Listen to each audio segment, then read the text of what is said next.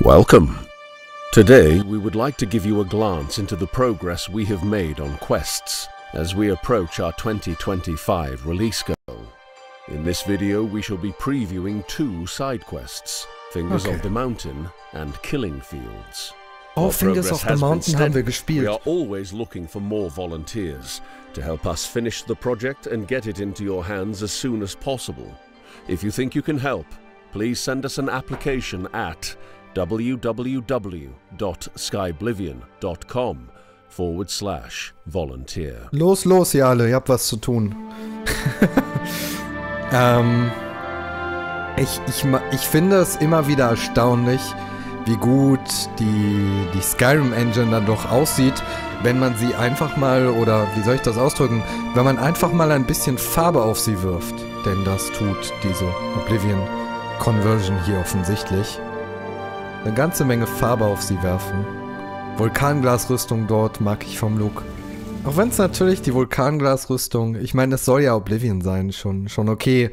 Ich mochte das Vulkanglasrüstung-Design in Oblivion nie. Das ist äh, so ein bisschen Plastik. Ähm. Bin gerade am überlegen, ob ich jemals in Oblivion eine funktionierende Mühle gesehen habe, denn da hinten steht eine. This quest takes place roughly mid-game and is given by the Coral Mages Guild as a task to receive their recommendation.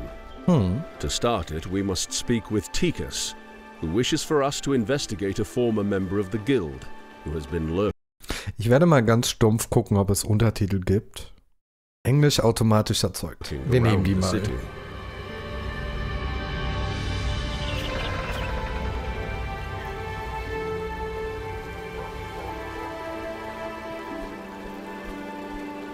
Nee, es muss ein Name gewesen sein. Er hat nicht gesagt, wir sprechen mit Tigern. Das wäre random. Boah, das ist Koroll. Mit diesem, diesem ikonischen Baum in der Mitte dieses runden Platzes. Den Gildehallen drumherum. Und ich, ich bin irgendwie ein Fan davon, wie, wie soft diese ganze Grafik aussieht. Den Baum kenne ich!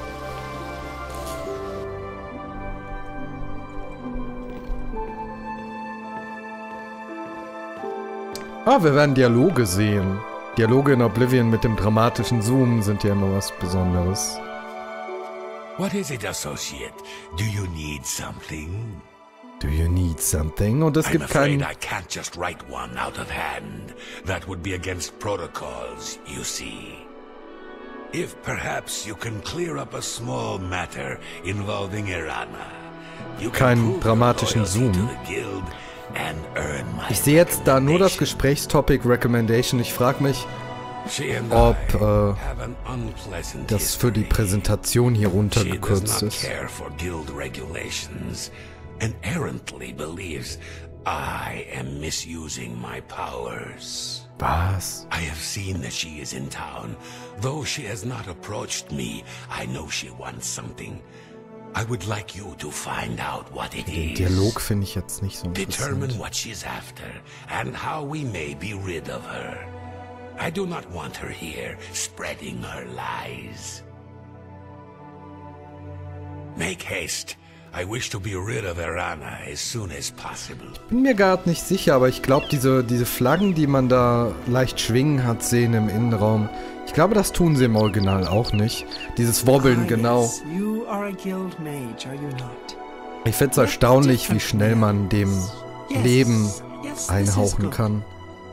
There's a small matter with which you may be able to assist. It's nothing worth involving your guild in, I assure you. Best it mm-hmm. kept just between Ist das so us, eher. Rana? So, what say you? Ja, gut. Excellent. It's a simple task, really. All you need to do is fetch a book for me. The book is entitled Fingers of the Mountain. It is of no use to you. You won't be able to read it. I, however, can and would very much like to. Ich bin gerade ein bisschen geflasht davon, Cloud Top. Wie allein diese Tatsache, dass dieser dramatische Zoom und die komischen Gesichtsanimationen nicht mehr sind, äh, es viel einfacher machen, das ernst zu nehmen.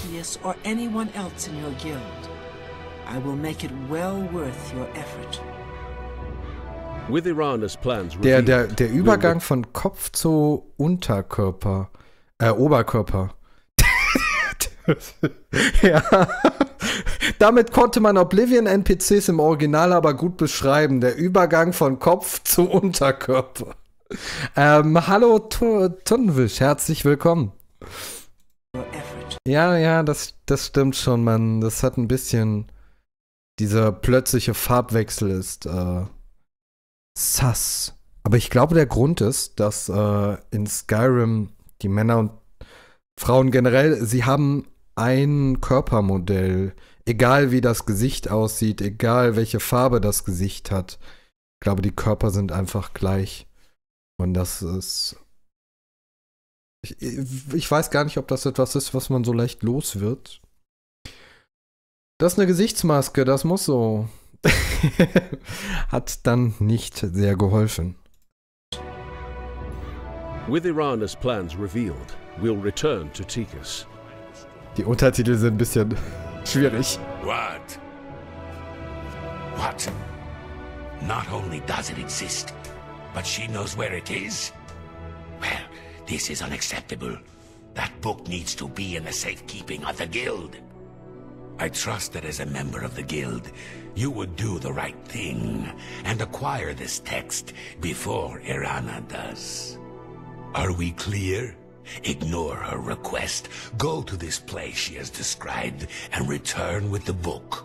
This is far more important than any petty squabble. Ich finde es ganz cool, dass äh, diese Quest hier geshowcased wird, weil es gibt da diesen, diesen relativ coolen, auch schon in Oblivion, cool aussehenden äh. Weg nach oben auf dem Berg. Leaving Coral's Oak Gate, our route takes us along the outskirts of Coral, towards the mountains in the far distance. Ach ja. Bandit! Now you will know pain. Und das ist natürlich das Coole, weil äh, wenn es etwas gibt, das mir in Oblivion nicht so gefällt, ähm, dann ist das mitunter halt auch das Kampfsystem und einige Details in die Richtung und das Rollenspielsystem mit den mitskalierenden Gegnern und so. Und äh, Finally, we've reached our destination, Cloud Top. kann mir das Ganze so gut vorstellen in Skyrim Engine. The fierce storms and lightning in this area have dismantled this once formidable tower into what you see now. After exploring Cloudtop, we find the charred corpse of an unlucky mage who pushed their luck beyond their skill, leading to their untimely and graphic demise. With the book secured, we have two options. To either return to Tikus and receive his Alter. recommendation to join the Mages Guild, or to return the book to Irana for the large reward she promised us. Bring. Es sieht schon schön aus, diese, diese Weitsicht und es wirkt so viel weiter, wegen, wegen dem Nebel in der Ferne auch ein bisschen und... Du willst das? Es äh, kommt 2025. Es gibt ein Release-Datum.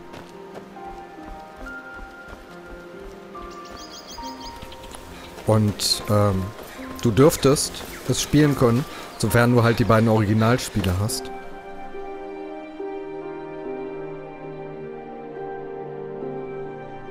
Ich glaube, mehr kostenfrei ist das Wort, das ich suche. Ähm, glaub mir, die habe ich. ich kenne dieses Gefühl.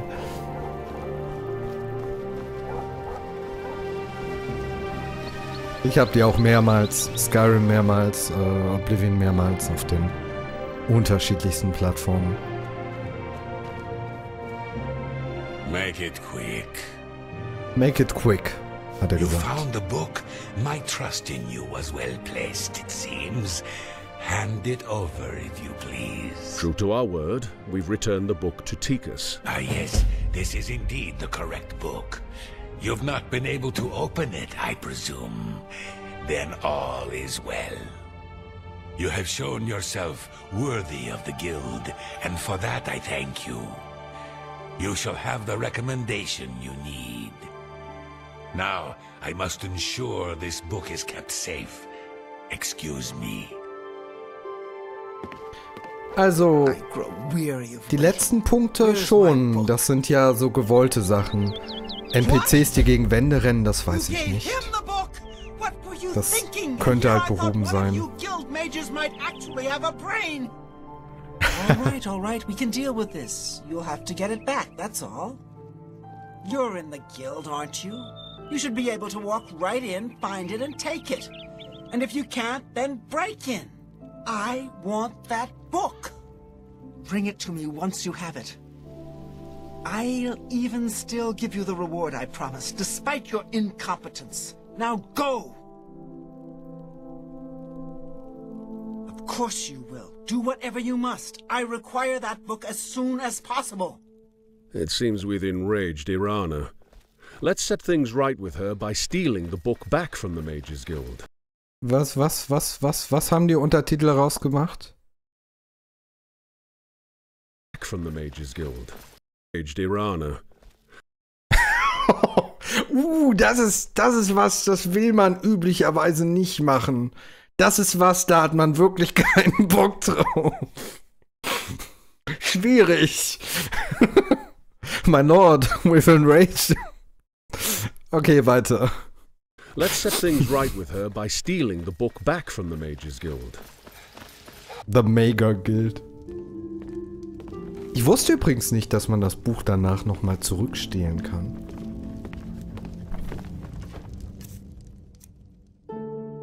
Fingers of the Mountain. Zu welch großartigem Zeug komme ich denn hier? Hallo Brain Freeze. Wir schauen uns eine Total Conversion an von Back äh, again, are you? Oblivion auf die Skyrim Engine, die 2025 Ah, erscheinen soll. I'll just take this from you and get to work translating it. I'll need some time with this. Come and find me tomorrow. I'll be here until Und es sieht alles so viel schöner und spielbarer aus, um ehrlich zu sein. Gleichzeitig finde ich es natürlich ein bisschen schade, dass die Albernheit von Oblivion flöten geht. Also ich meine, das ist, was man will. Aber wir konnten mit dieser Albernheit sehr interest viel Spaß haben. I've committed most of the book to memory, but I took the time to write down a passage you might find useful. It contains instructions for acquiring a very special power. You'll want to read it carefully and then return to Cloud Top. I consider this to be more than a worthy reward for your help. Das stimmt, I believe Xeros. you'll agree, assuming you're careful. Go bother someone else. Ja, das meine ich, es ist so erstaunlich. Man nimmt die Skyrim Engine und man wirft einfach Farbe drauf und es sieht gut aus. we've returned to Cloudtop. It is time to uncover the secrets of Fingers of the Mountain. Und mein Gott, sieht es gut aus. Auch jetzt gerade mit dieser Abendstimmung. Bin ein Fan.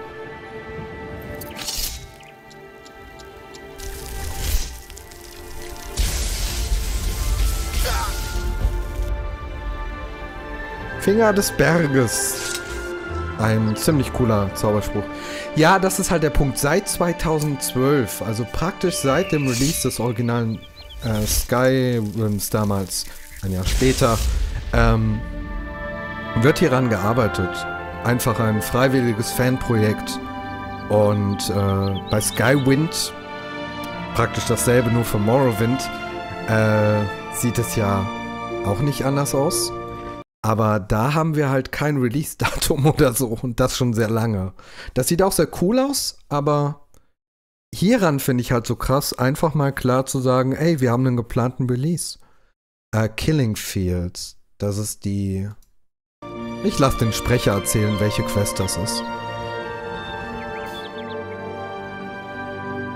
To round out our quest's highlight, we're going to walk through Killing Fields, a quest with multiple endings depending on your choices.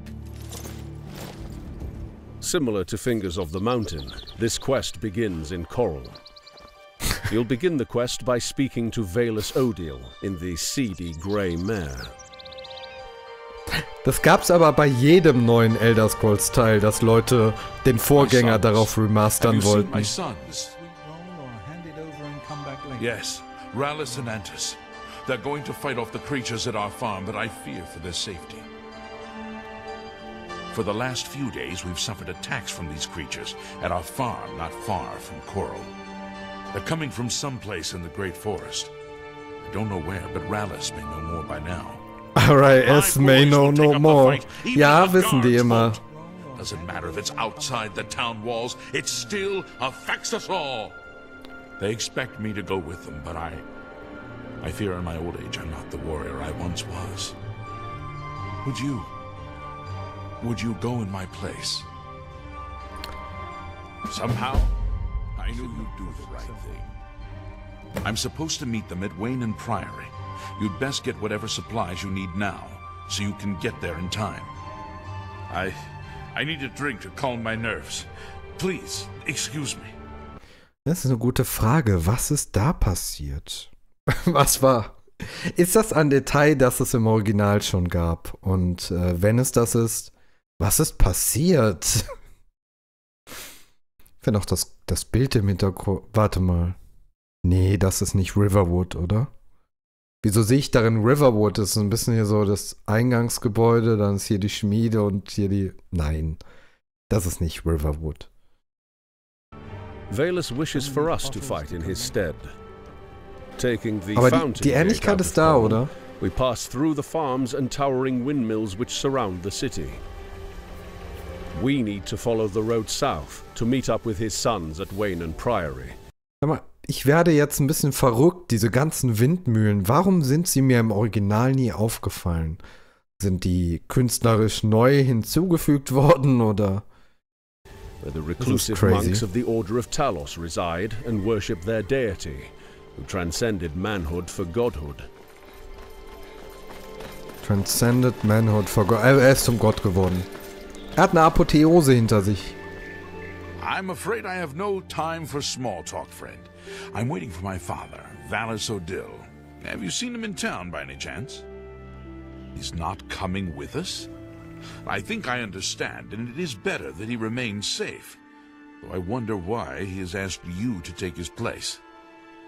You would join us, though you have no personal stake in this fight?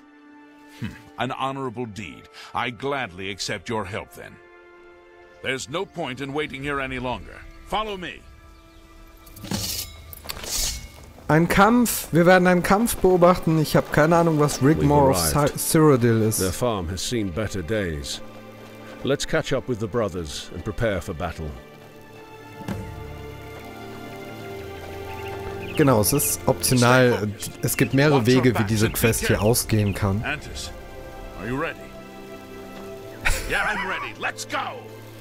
Okay, ich nehme das übrigens zurück, als ich eben meinte, es nimmt ihm ein bisschen das Alberne. Wenn man sich das hier mit in echt mal vorstellt. Stay focused. Watch your backs and be careful. Das ist schon ein bisschen albern. Are you ready? Yeah, I'm ready. Let's go! Let's go! Defend yourself. Uh, Goblin-Kämpfe.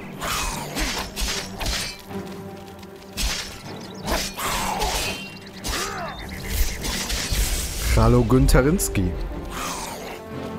Die! Doi!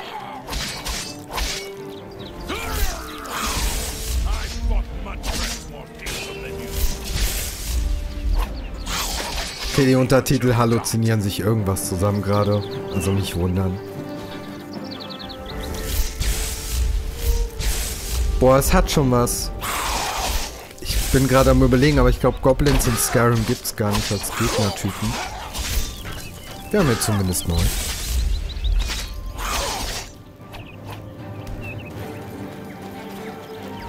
Er hat schon gegen Schlammkrabben gekämpft, die stärker waren. Ach so. Ja, das, das haben erstaunlich viele Leute immer, ne? Die Goblin-Krieg-Mechanik. Oh mein Gott, die Goblin-Krieg-Mechanik. Irgendwas sagt mir das. With the goblins dealt with, we can return to Valus in Coral. Let's go see my father and let him know of our victory. we beat them! We slaughtered them all! Did you see? Did you see how well I fought? Ich nehme es zurück. Das Spiel behält ein bisschen seine Albernheit. Und das ist gut. How wonderful. My boys are safe. Oh, thank you. Thanks so much for sticking with them and helping a foolish old man. Please, take this. I won't be needing it any longer. My battles are over. Jetzt kriegt er diese, diese Eisklinge, müsste das sein. Dieses blaue Vulkanglaswaffe. We've completed the quest and been gifted Chillrend. Ah, this iconic blade is one of the many weapon rewards from Oblivion we've Das remade cool to offer more unique and diverse weapons throughout Skyblivion. However, this is but one of the potential endings for this quest. Depending on whether or not Odil's sons survive, he may not be so gracious. They. They didn't make it. Oh, God. They died out there all alone. I should have been with them. It should have been me, not them. I. I'm sorry. You did all you could, I'm sure. Thank you for trying. I'm afraid I have nothing to offer you. What little money I have must now be spent. Aber die. Waffe hast du doch trotzdem. Please, if you'll excuse me. The Hund! goblins have damaged the Odil farm. It will take time for the family to repair, taking longer depending on how many members remain. Or, if they all meet an unfortunate end, the farm will remain in ruin. Hmm. Additionally, gravestones are placed for each brother that dies in defense of their home. Das ist so cool, diese verschiedenen unterschiedlichen Varianten, wie diese Quest ausgehen kann und dass sich halt ein Stück der Spielwelt dann entsprechend anpasst. Was ich mich gerade frage, ist, ob das im Original Oblivion auch so war? Und wenn ja, finde ich es voll schade, dass mir das nie aufgefallen ist. Also ich traue dem Spiel zu, dass es das als Konsequenz dann tut. Finde es nur fast schade, dass es, dass sich dieses Detail vor mir verborgen hat. Da war es vorgegeben. Ja, aber warte mal, die, die, die Brüder konnten doch trotzdem sterben. Ich weiß, dass das, dass das passieren konnte. Z zumindest die verschiedenen Enden, wo du bei einem Ende Chillrand bekommst und beim anderen nicht. Da- da- Das muss es im Original gegeben haben. Ich bin mir nur gerade unsicher bei der Zukunft der Farm sozusagen. Äh,